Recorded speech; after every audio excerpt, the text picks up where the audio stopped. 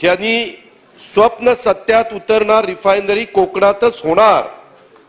कोकणातील हजारो युवकांना स्वयंरोजगाराच्या संधी मिळणार. धन्यवाद माननीय मुख्यमंत्री एकनाथरावजी शिंदे. आणि पंढरनाथ आंबेडकर ग्रीन रि काहीतरी रिफायनरी समर्थक असा त्याचा फोटो आणि हे फोटो इथं तुमचा दिलाय. तिथं स्वप्न सत्यात उतरणार रिफायनरी कोकणात येणार कोकणातील बंद घरे उघडणार व कोकणातील माणसांची घर वापसी होणार. धन्यवाद माननीय उपमुख्यमंत्री देवेंद्रजी फडणवीस पंढरनाथ आंबेडकर. ह्याच्या मागचा त्याचा मास्टर माइंड कोण आहे कुणामुळे यांनी केलेलं आहे काय केलेलं आहे इतक्या लांबपर्यंत तो तुम्ही पहिल्यांदा तीनशे आठ गुन्हा दाखल केला होता कलम लावलं होतं पण नंतर तीनशे दोन केलं. काय उपयोग आहे शेवटी गाडीचा अंगावर घालून त्याला फरफटत मारणार असेल तर कायदा काय करणार? आपण जे म्हणता ती वस्तुस्थिती आहे की माझं किंवा मुख्यमंत्र्यांचं फोटो असलेलं पोस्टर त्यांनी छापलेलं होतं किंवा बॅनर त्यांनी लावलं होतं आणि रिफायनरी समर्थक असल्याचा दावा देखील त्यांनी केला होता. यात काही दुमत नाही ही वस्तुस्थिती आहे. पोलिसांचं फडणवीसांच्या पोलिसांचं काय आता वसवा राहिला नाही का महाराष्ट्रामध्ये? अध्यक्ष महाराज मी प्रश्नाला उलट नेत नाही पण अध्यक्ष महाराज इथं चंद्रकांत पाटील साहेब बसलेले आहेत. त्यांच्या तोंडावर शाई फेकली. त्याचं समर्थन कोणीच केलं नाही अध्यक्ष महाराज. पण पोलिसांनी सरळ त्याच्यावर नॉन बेलेबल ऑफेन्स केले. परवा कोर्टामध्ये हायकोर्टाने त्याच्यामध्ये अध्यक्ष महाराज पंचवीस हजाराचा दंड शासनावर केला अध्यक्ष महाराज. आणि तो सगळे गुन्हे स्क्रॅप केले अध्यक्ष महाराज. नाना भाऊ हे फडणवीसांचे पोलीस नाही आहेत हे महाराष्ट्राचे पोलीस आहेत. हे महाराष्ट्राच्या जनतेचे आणि महाराष्ट्राच्या सरकारचे पोलीस आहेत. त्याच्यामुळे थोडी दुरुस्ती करू त्याच्यामध्ये. शशिकांत वारिशे यांच्या प्रकरणामध्ये कोणालाही सोडण्यात येणार नाही. अध्यक्ष महोदय खर तर ही अक्षरशः आपल्या महाराष्ट्राला काळीमा लागणारी अशी या प्रकारची घटना घडली. कारण पत्रकारांच्या बद्दल आपल्या सगळ्यांचा चौथा स्तंभ म्हणून आपण ज्यावेळेस त्यांच्याकडे बघत असतो त्यावेळेस सरकार कुणाचंही असो. तर कायदा सुव्यवस्था बिघडणार नसेल आणि संविधानाने घालून दिलेले किंवा कायद्याने घालून दिलेल्या सगळ्या गोष्टीचा आदर करून त्यांनी त्याच्यामध्ये लिहिलेला असेल तर कुणाला काही वाईट वाटायचं कारण नाही. अध्यक्ष महोदय याच्यामध्ये मला उपमुख्यमंत्र्यांना प्रश्न विचारायचा आहे की शशिकांत वारिसे यांच्या कुटुंबियांना शासनाच्या वतीनं काही आर्थिक मदत देण्यात आली किंवा कसं? किंवा काही आपण त्याच्यामध्ये जाहीर केलेलं आहे का? ही माहिती एक सभागृहाला द्या. आज उपमुख्यमंत्री महोदय रत्नागिरी जिल्ह्यामध्ये रिफायनरीचे समर्थक आणि रिफायनरीचे विरोधक असा वाद त्या जिल्ह्यामध्ये चालू आहे का काय अशा प्रकारची शंका येते. त्याबद्दल आपण पोलीस खात्याचे प्रमुख या नात्याने काय आपलं म्हणणं आहे. आणि याबद्दल रिफायनरीच्या संदर्भामध्ये आत्ताच्या शासनाची नक्की काय भूमिका आहे हे पण उत्तर आम्हाला या लक्षवेधीच्या निमित्तानं मिळालं पाहिजे. उपमुख्यमंत्री महोदय यांनी स्वप्न सत्यात उतरणार रिफायनरी कोकणातच होणार. कोकणातील हजारो युवकांना स्वयंरोजगाराच्या संधी मिळणार. धन्यवाद माननीय मुख्यमंत्री एकनाथरावजी शिंदे. आणि पंढरनाथ आंबेडकर ग्रीन रि काहीतरी रिफायनरी समर्थक असा त्याचा फोटो आणि हे फोटो इथं तुमचा दिलाय. तिथं स्वप्न सत्यात उतरणार रिफायनरी कोकणात येणार कोकणातील बंद घरे उघडणार व कोकणातील माणसांची घर वापसी होणार.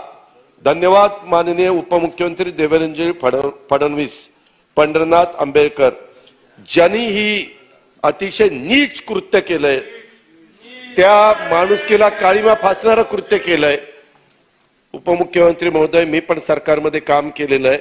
असे ज्यावेळेस सगळ्या तुमच्या पण इतर वरिष्ठांचे किंवा इतरांचे पण फोटो त्याने लावलेले आहेत. त्याच्यामुळं तुम्ही तपास जो एस आय टी लावलेली आहे त्याच्यावर अजिबात दबाव येऊन देऊ नका. तुम्ही स्वतः त्या एस आय टीच्या प्रमुखाला बोलवा. हे लोक कुणाचीच नसतात. आम्हाला पण माहिती आहे उद्या सरकार आमचं असतं तर त्यांनी आमचे फोटो लावले असते आणि आमचा उदो उदो केला असता. हे म्हणजे हे कोण कोण? पंढरनाथ आंबेडकर आहे. त्याकरता आपल्याला स्पष्ट सूचना द्याव्या लागतील. नाहीतर एस आय टीच्या मध्ये जे प्रमुख लोक काम करतात त्यांना जरा अशा प्रकारचे फोटो वरिष्ठांचे ज्या पोलिसांच्या आज प्रमुख गृहमंत्री म्हणून तुम्ही आहात उपमुख्यमंत्री राज्याचे आहात हे राज्याचे मुख्यमंत्री आहेत आणि त्यांचे पोस्टर लावले मग यांच्या जवळचा आहे का? मग आपण ह्याला कुठं वाचवला पाहिजे का? अशा पण शंकेला निश्चितपणे वाव लागतो. मला कुठला हेतुआरोप करायचा नाही. परंतु ह्याचा तपास पारदर्शकपणे. भले काय ह्याच्या मागचा त्याचा मास्टर माइंड कोण आहे कुणामुळे यांनी केलेलं आहे काय केलेलं आहे इतक्या लांबपर्यंत तो तुम्ही पहिल्यांदा तीनशे आठ गुन्हा दाखल केला होता कलम लावलं होतं पण नंतर तीनशे दोन केलं. ते बरोबर केलं कारण त्यांनी एक प्रकारे ते बघितलं तर त्यांनी जाणीवपूर्वक त्याचा खून केलाय त्याला मारलंय असंच त्याच्यातनं निष्पन्न होतंय. अर्थात अधिकचं निष्पन्न लक्षवेधीमध्ये उत्तर दिलंय त्याच्यामध्ये पूर्वनियोजित हत्येचा कट होता किंवा काय ते सगळा तपास होईल. पण ह्याच्यामध्ये जो एस आय टीचा उप अधीक्षक आहे पोलीस तुम्हाला माहिती आहे पाठीमागच्या काळामध्ये अशाच प्रकारच्या काही घटना घडल्या होत्या. एकदा जळगावला पण अशाच प्रकारची घटना घडली होती. त्यावेळेस राज्याचे प्रमुख पवार साहेब होते आणि त्यांनी आपल्या पोलीस खात्यामध्ये महिला वरिष्ठ अधिकारी त्यांना त्याच्याबद्दलची ती मॅटर बघायला सांगितली होती. ती फार महाराष्ट्रामध्ये गाजलेली होती. तशा प्रकारे आपल्या पोलीस दलात पण काही चांगले अधिकारी निश्चितपणे अतिशय सरळ मार्गी तपास करणारे आहेत. आता परवाच पुण्यामध्ये एक चोरी झालेली होती. उपमुख्यमंत्री महोदय मी तुमच्याही कानावर घातलं. त्या चोरी तो चोर पाच राज्यांचे पोलीस त्याला तपासत होते पाच राज्यांचे. त्यांनी एका गव्हर्नरच्या जावयाच्या चोरी केली. एका ठिकाणी ते सिंध हाऊसिंग सोसायटीत कदमांची चोरी केली. एका ठिकाणी तो कुठला मधी सिनेमा आला होता. तो पुष्पा पुष्पाच्या ऍक्टरच्या घरी चोरीला गेला होता. ते तिथं वॉचमन उठला म्हणून त्यांनी पलीकड चोरी केली. म्हणजे त्यांनी जस्टिसच्या घरी चोरी केली. असा खूप त्याचा संबंध होता. अक्षरशः म्हणजे त्याबद्दल प- पुण्याच्या पोलिसांचं कौतुक केलं पाहिजे.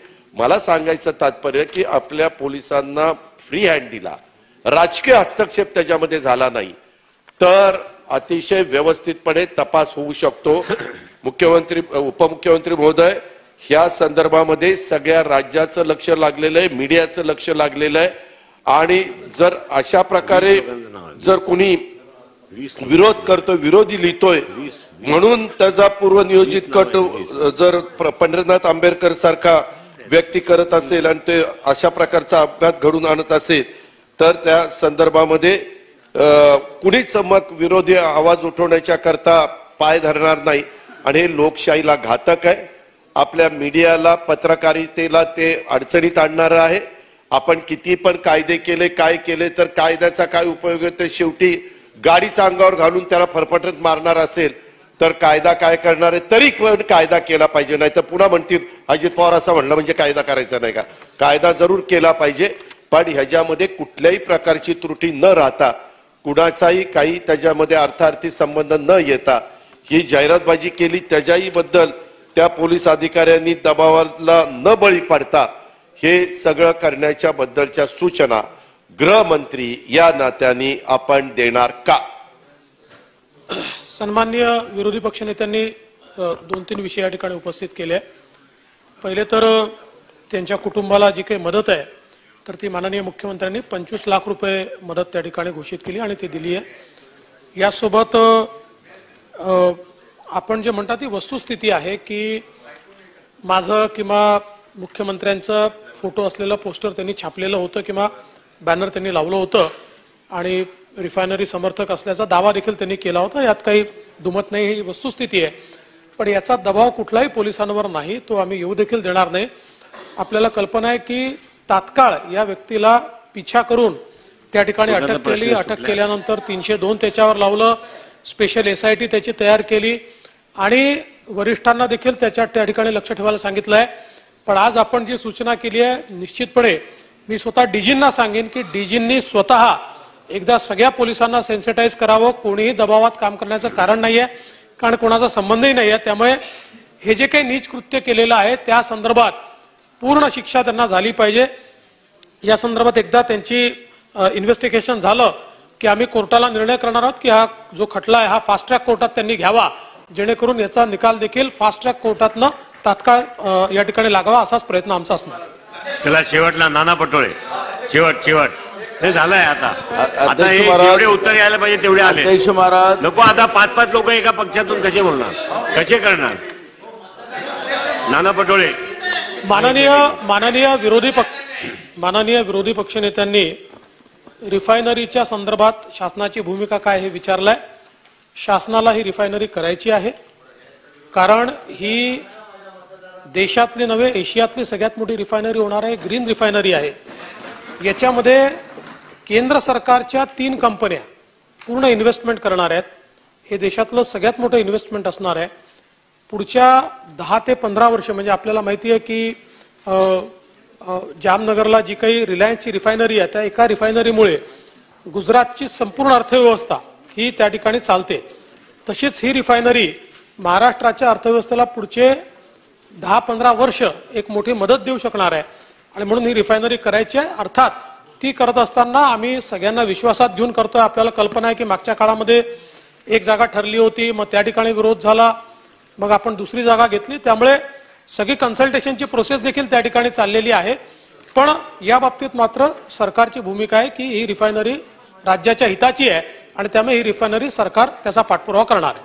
नाना पटोळे महाराज बदला आता बदला अध्यक्ष महाराज नाना विचारा. शशिकांत वारिसे या पत्रकाराचा खून झालेला आहे तीनशे दोन दाखल झालेला आहे. अध्यक्ष महाराज या घटनेची पार्श्वभूमी पाहिली की ही राज्यामध्ये सगळीकडेच आहे.